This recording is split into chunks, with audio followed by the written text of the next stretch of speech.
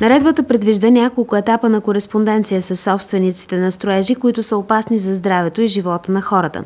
Същите правила вече въжат и за стари и нестопанисвани сгради, които с времето са станали опасни. Специална комисия, назначена от кмета на общината, ще инспектира всички потенциално опасни обекти на територията на община Харманли. След нейните констатации следва заповед на градоначалника до собствениците на обекта за доброволно премахване на опасните сгради или части от тях. Когато срокът на тази заповед изтече, следват нови процедури, които в крайна сметка имат за цел да обезопасят мястото, дори ако трябва обектът да бъде разрушен, а теренът след него почистен.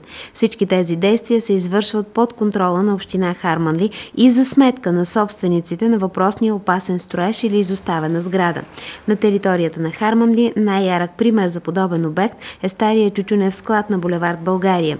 Тук заради постоянно рушащата се мазилка община Харманли вече е предприела мерки за обезопасяване на сградата, като е прекъснала достъпа на хората до тротуара непосредствено под тютюневия склад.